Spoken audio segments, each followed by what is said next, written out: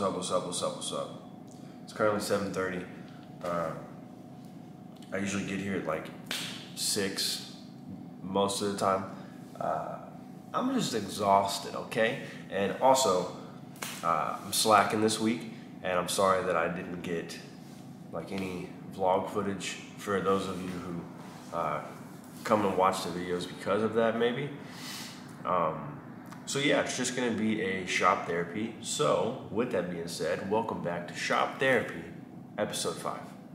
Our best self requires the continuous sacrifice of ideas, habits, people, and places that do not align with who we are and where we're going. So basically, just learn to sacrifice shit that's not directly um, feeding you the energy and the, the time that you need to continuously push forward. Um, and like I said, that could be uh, an idea, whether you are closed minded about a situation uh, or you get too offended for other people's ideas. Um, habits, as in maybe a hobby that you have, uh, a habit you have at work that can like kind of uh, hinders your your efficiency or people, which I think people and, and a place are the biggest ones, right? Because if you have like for example really shit friends that all they do is complain and and just party or, or whatever you want to deem them kind of unnecessary for where, where you're going and it could it could be no hard feelings you know what i mean? You just live a different life and they go one way and you go the other. You can keep up with them but you're not as close as you were because you were trying to uh, effectively grow um, in the right direction. And as far as places go, that one's kind of obvious. It could be like a hometown situation.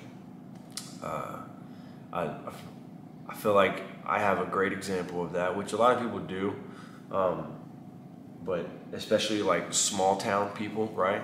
Because where I came from, Hemphill, it's an awesome place. It's great. Uh, it has its ups and downs, pros and cons, but it really is a cool place. Uh, I'm thankful that I grew up there. I feel like if my dad would have kept us in uh, in the Houston area, I would be a completely different person, uh, and probably not, probably not for the better, to be honest. So.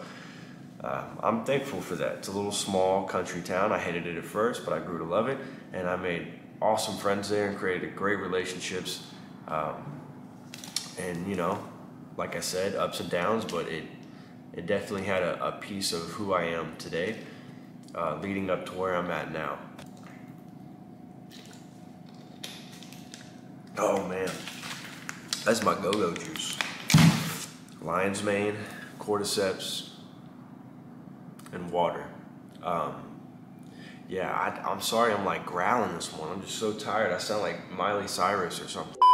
So these won't necessarily be uh, super long, but I figured I would take uh, all four, four of those things that I just said from that quote, right, and kind of break them down into what it could potentially mean um, starting with ideas, right? So an idea could be uh, if it's if it's keeping you and hindering you from progressively moving forward, right? Efficiently changing for the better. Um, an idea could be, you know, I'm gonna miss this interview for this job because I feel like it's too hard. Now, if you had an idea in a sense that maybe it just wasn't for you, then you're sacrificing something that um, you personally feel is not going to benefit you and make you happy, which is a whole different, I guess, segment in itself. And there's a push and a pull to that. But if you strictly are just um, quitting or dropping something because you think it's going to be hard, um, it's definitely a bad idea that you need to just rip from your, your database, you know, because uh, that will do nothing but, but hinder you because the things that you deem as hard could actually be pretty fucking easy depending on how you handle it. You might be, um, you might have a knack for it, you know, depending on what the the applic- uh, the occupation is, and just like what's within it, right? So then, what was it? Ideas, habits, habits. Uh, I could use myself as an example for this one. Um, I probably never stop doing it because I don't think it's extremely detrimental because I have uh, went through school, Um, I finished school, now I'm a barber and I have an awesome career and I'm doing good and I'm feeling great and it, it is what it is. So I'm, I'm not progressing. You can't look at the things that I've accomplished in the past like two years and say that I have not uh, changed or progressed for the better, right?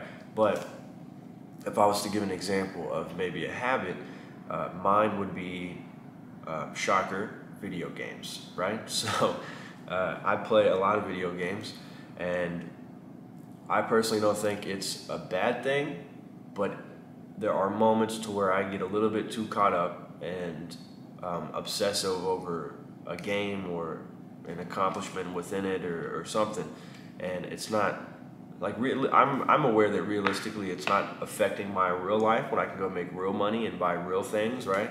But it's just fun and it's just something that I do. So if it's if it has deeming qualities that are, are kind of bad in a sense, but they're not detrimental, then you need to learn how to work around it. And, and everything in life needs moderation, um, even habits. So the next one um, would be places, right? So places I kind of already gave the example for that, like a small town. Um, in my case, being Hemphill, where I'm from, it's a great place, but um, you know, unless unless you're able to make like a crazy successful business, you probably just need to get the fuck out of there because uh, there's not a lot of opportunity there.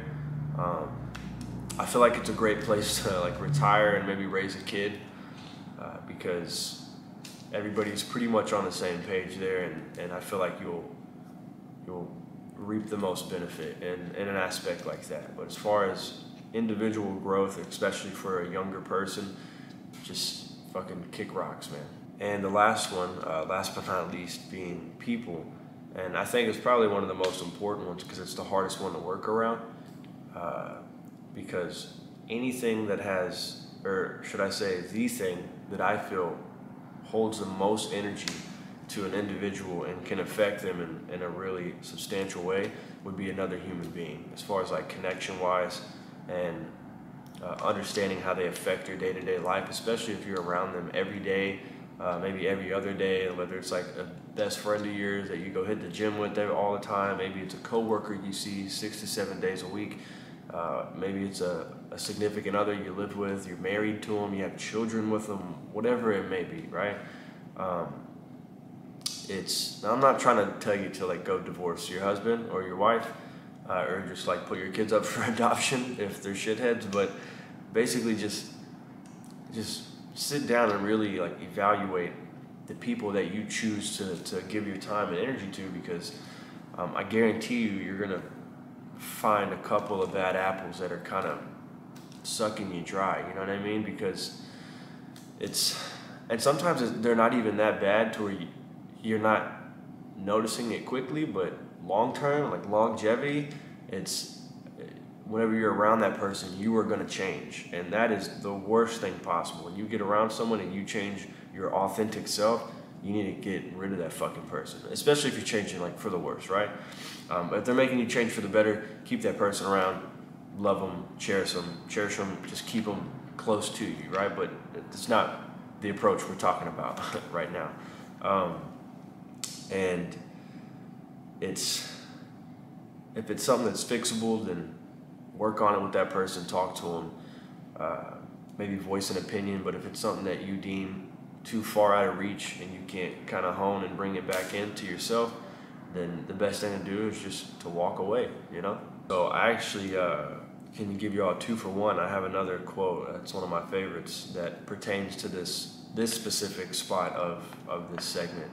Um, and it is that everyone wants to be in the results and not in the process but it's in the process where you realize who truly deserves to be in the result. Basically, let's just like blow it out of proportion, right? Let's say uh, you make millions, you have a super crazy successful business or multiple successful businesses. Uh, you have all the nice cars, you have a, a nice, beautiful home. Um, maybe your personality is great because you've built it over the years and you built this intelligence and this confidence within yourself, and you have all these random uh, little rats that just come into your life um, very abruptly because of what you have, and you're pulling these negative people in, um, and you notice that obviously they weren't in the process, right? People who could be in the process would be um, childhood friends that you were riding with all the way through the ups and the downs, the super bad times and the really great times. Um, significant others, a boyfriend, a girlfriend, um, even children. Which children are kind of a, a weird subject because they're your kid, and if you are like, yeah, I gotta get rid of this motherfucker because he's draining my energy, then you're just a shit parent, and there's no other way to chalk that up. Uh, but yeah, if, if they're not, they don't have to be with you helping to reap any type of benefit, but they have to to genuinely want to be your friend and genuinely want to have a, good heartfelt relationship. So whenever you are, you know, balling out the frame and they're with you, you don't feel some type of way and you don't feel uh, neglected in a sense like this person um, didn't like me for who I was and they only like me for who I am now. So understand that um, a sacrifice is not always a bad thing. Some of them will inevitably hurt, but will be deemed necessary and you will grow and you will see uh, more of the light at the end of the tunnel, whether you uh, relieve yourself of a shit idea, of a shit person, of a shit place, or an extremely shit habit. Uh, but we're going to go ahead and wrap it up here.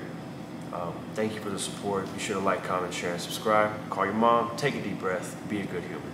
I'm out.